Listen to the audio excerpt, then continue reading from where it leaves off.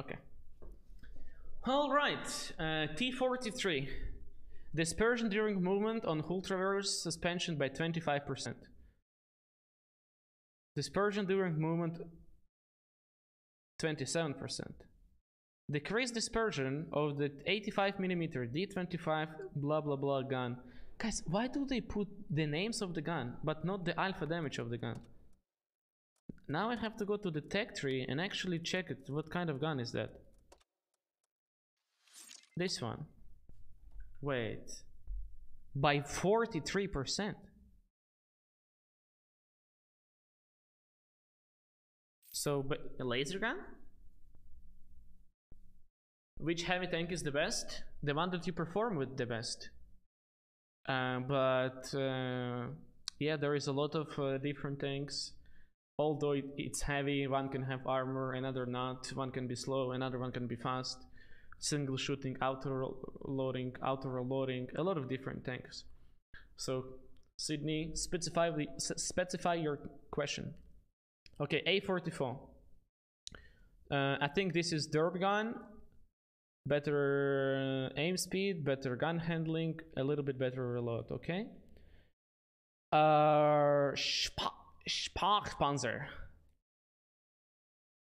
Decrease dispersion by 38%. Okay, do they increase the shell velocity? Reload time, blah blah blah, blah blah blah. Reload time. There is no changes to speed of the shells, which is bad but yeah, just it's massive boost, guys. 38%. It's insane. Okay, HWK. Dispersion. Dispersion.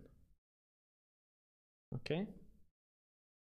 Dispersion more accurate, so it's gonna be laser gun. I mean, uh, RHM has the second best gun. If you are not counting EBRs, it's second best after Sheridan uh, it's gonna be it's gonna be laser gun but it's not gonna change anything I, I wish that Wargaming would split light tanks like E-Bears playing exclusively against E-Bears. There is no way in the world you would play every champ the wagon against E-Bear. But also there should be a balance where bad light tanks like Air Champ the wagon, Sheridan and WZ have specific matchmaking uh, where they don't match up against the T100, AMX 105 and Manticore. Because those tanks can reach 50% uh, camouflage. That means in the bush line, you're gonna spot them only with the proximity circle. Uh, because of the 50 plus percent camo. These tanks can get 50 even with the camo net. Therefore, they're always going to be outspotted by those three tanks that I mentioned before. So it would be nice if there is only one light tank, let's say T100, uh, the counterpart is going to be either Manticore or AMX 105. Uh, if there is two light tanks, RHM and Manticore, in enemy team, it's not going to be double Manticore or double T100 because it's an advantage. It would be nice, and then it light tanks would be playable. But now there is no point playing RHM, there is no point playing WZ and uh, Sheridan. No point. Okay, Tiger P. Gun handling, reload, reload. Improve the frontal armor. Okay, but it's, I don't know how it makes it. Doesn't matter. A little bit more HP, which is nice. Okay, so grind is going to be a little bit easier. But this massive boost by gun handling, man, it's insane.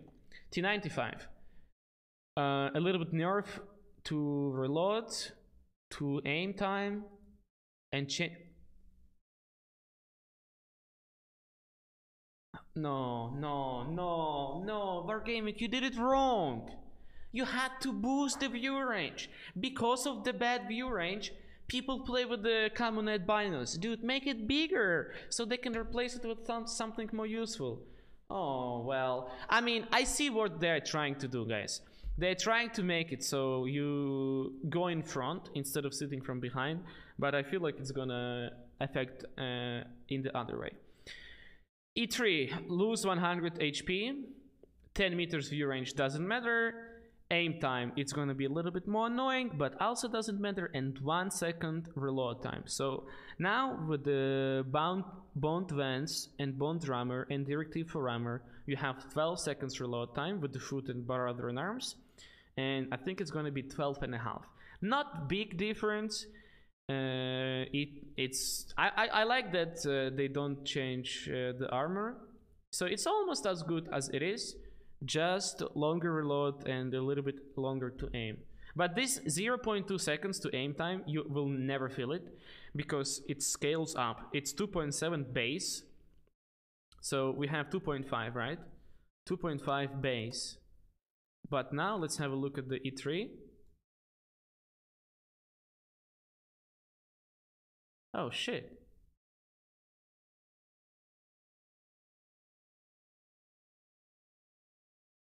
Okay, maybe we will feel it. Never mind. T-57 Heavy. Better gun handling, better aim time, and better reverse. Ooh. This is huge. This is huge, guys. Love that. Okay, ARL. Uh, 90 millimeter gun. What is the 90 millimeter gun on the ARL? 90 millimeter this one. Top gun 240 you, wait 240 is there not 300 damage gun? This one. This one that you play with now you play with the 300 okay uh, seven seconds wait so you you will have like five seconds forward speed by three kilometers okay the grind is going to be a lot easier which is nice. AMX 65T. Increase the dispersion during movement on the whole traverse for the AMX 65T base suspension by 12%. Wait. The Norfolk AMX 65T? Okay, guys, I've been saying this for a year, and I feel like it is a good time to say it again. You know it, I know it, everybody know it. This tank is shit. This tank is shit. It's garbage. It's not enjoyable to play it. You lose your shit playing with this shit. And here's the reason why. On tier 7 on, of this light, even at tier 6, uh, you can try to bait enemies uh, to shoot you in the upper plate. And I mean, yeah, this huge strikes makes it a lot harder, but you have flat upper plate and uh, you can expect bounces from there. You grind your way all the way to the tier 7 and you've got upper plate and you can do exactly the same with this vehicle as you were doing with the like it teaches you how to play with the line at tier 7 and if you if we look at the statistics right you angle it a little bit and it is already much harder. Like you can use it against tier sixes, tier sevens, depending where they're shooting, right? To bounce shots and keep your HP. So you make them fire off of your flat upper plate and you can pick without receiving damage. And then you're like, damn, this gun is really good. In fact, this is F750T gun uh, from this premium tank on tier 7 and it got buffed recently and it's nice right? And then you make your way all the way towards tier 8 well first of all what happened to the upper plate? Why is it no spike? I think what Wargaming needs to do, they need to get a giant hammer and they need to slam into the upper plate a couple of times so it will flatten a little bit. So you can have upper plate as on the tier 7 because this is complete garbage. Like I would like to have at least one part of armor that can bounce you know? Because otherwise you just wait for enemies to fire and only then you can pick. Another thing that they have to absolutely they have to do is this they need to put this turret that we have with the cupola right now here. They need to do that. And so what it's going to happen is that this one is going to become top turret you just replace those turrets. And now look at this, guys. You have a turret exactly the same as on I Liberty premium tank, right? But you can be smart about it, and uh, you can play hull down as long as your cupola is uh, on the right side behind the cover. So imagine here is like a building, uh, stove of destroyed vehicle, rubbles, whatever, or even using gun depression, right? It's uh, much much harder to hit the cupola instead of that one. So make this stock turret top, so you could mount on this uh, turret 400 damage gun. So you can do more damage, you can trade better, and uh, make the upper plate. Just, just change the hull, bro. I don't care if it's historical or not. I don't care. It doesn't fit the line. This piece of shit is so bad, nobody likes it. Make the grind a little bit better, change the hull, change the turrets, and it's going to be nice. It's going to be okay, because at least you will have a reliable source of armor that you can uh, pick. The turret is going to be reliable, and uh, the frontal armor. It doesn't have to be 300 millimeters with the like 90 degree when you're looking like this. Make it, I don't know, what's the armor of the tier 7? So the armor plate is 110. Make it 115. Make it uh, or like 120, whatever. And with the angle a little bit, it's gonna be like around 200, you know? So if you angle a little bit like that, and there is a cover of the building, at least you can expect a bounce. Replace turrets, boom. Much, much easier. You're welcome. Uh, I hope Wargaming will listen and uh, I will be getting paid for these ideas. Could you discuss the equipment for the Lion? Uh, we're gonna do it next, after this. Okay, AMX M451. Uh, Vor's gun handling, Vor's gun handling, Vor's aim time. I love the changes. The tank is too strong, and I think uh, it's totally fine. AMX 51 FL. What is this? What? What is that? Frontline tank. Oh, who cares? Um, 54. Uh, increase the dispersion during movement on hull by 33%. This is massive nerf. This is bas basically, this is back to what it was. Guys, it's back to what it was. Worse uh, accuracy, dispersion on the turret, worse reload time, and worse aim time. Oh, I mean, you just need stop. You will need stop. And so you won't be able to run turbo, HP, and rammer. I don't know, this is insane. Um, maybe this is a little bit too much, guys.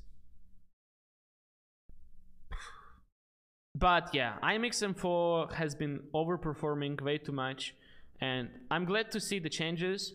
Although I wish that Wargaming would be a little bit more flexible with this and uh, do it a little bit faster. Because for how long we had uh, AMX terrorizing random? For like half a year? Okay, comment. Decrease dispersion during movement by 25 and 27% for the hull. Uh, QuickyBaby is really happy. His favorite tank is getting buffed. Uh, I think I'm agree with the changes. Mm, I would like to see a little bit uh, damage per shot boost to like 180, 170, 160. I don't know. Uh, 170 I think would be fine with the worst reload because you have 110 on tier 5, you have 135 on tier 6 Cromwell, and then you have the same on tier 7, and it just doesn't feel the same.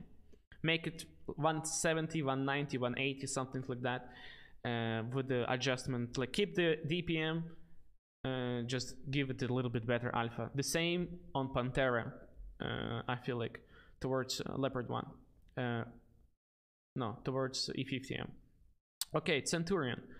Uh, better gun handling I really liked Centurion I played it I tried to do speed run of Mark of Excellence and I really really liked it better gun handling means uh, more enjoyable grind Centurion Oh, wow. Oh, wow.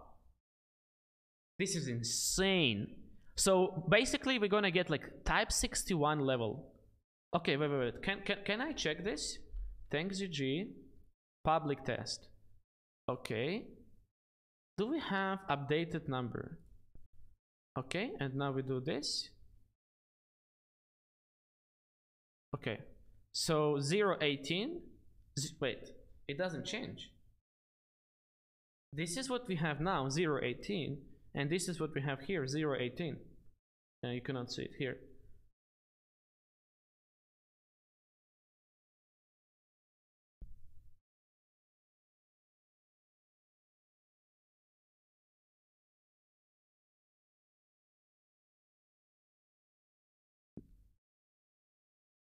So it's not yet. Okay, but okay, 0, 18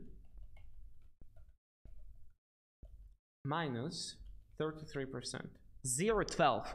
And 0, 12 is the gun handling of uh, Super Conqueror, meaning you are no longer required to have stabilizer. And Centurion is gonna be like Patton. I feel like people will be playing HP stab uh, Rammer. Uh, if, if this is correct, guys, if this is correct, this is Super Conqueror. And if you have around 0.12, you can absolutely drop stop and be totally fine with it. Unless your aim time is garbage. Uh, but with the gun handling, it should be totally fine. So I think uh, this one is going to be new gem based on uh, uh on these buffs. I think it's going to be new gem, guys. Centurion Action X. Uh, gun dispersion by 29%, 33%, a little bit better load, and a little bit faster. Uh, I don't like seeing this getting faster. In my opinion, it's bad for the game. Uh, instead of buffing this, there should be 10,000 uh, pages of nerfing everything so mediums are the fastest on the battlefield, but now we have tanks like 5A to 7.7 and they're way way faster than uh, mediums and there is no point of playing mediums anymore. But uh, it's still nice, nice to have tank a little bit faster, but I think it's just a step in the wrong direction. By making everything faster, the games are gonna be even quicker. But yeah, for the Centurion Action X players, it's gonna be really, really mm, nice change. Okay, IKV, dispersion, better and faster reload time. Okay, I, I, mean aiming time. Yeah, grind is going to be easier towards the steer V. Don't care much. Standard B, increased dispersion during movement. Oh yo yo, oh yo yo, guys, increased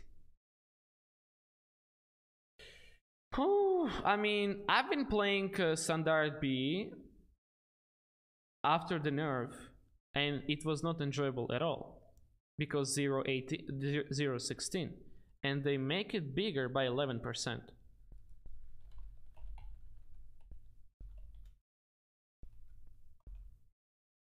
Zero, zero eighteen.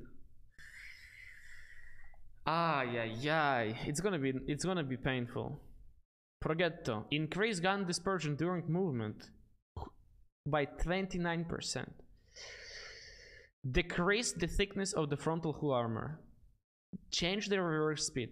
I mean, I've I always been a hater of Progetto because it has insane shell velocity, it has good pen, and it's autoloader and people just sit, sit from behind and they camp and so I purely hate this thing because of those type of players who is just sitting doing nothing and just uh, just playing tank destroyers.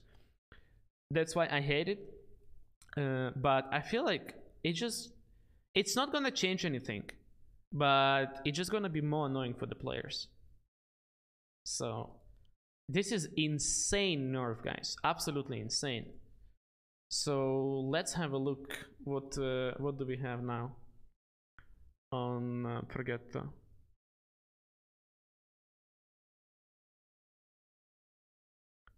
You have 0.14, which is really, really good. And this is going to get worse by 29%.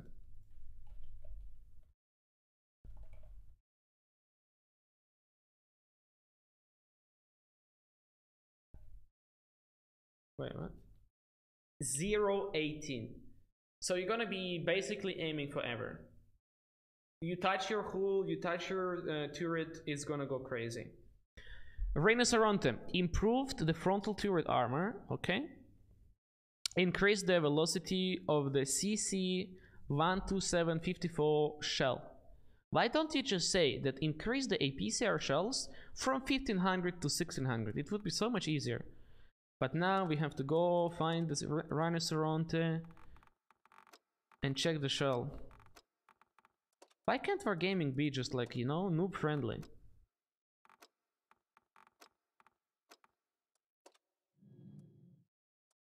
Uh,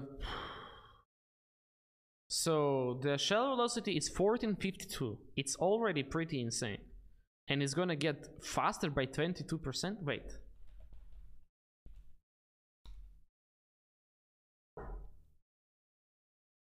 Bro! Hit? Wait. Dude, they could they could just sell like it's so confusing, man.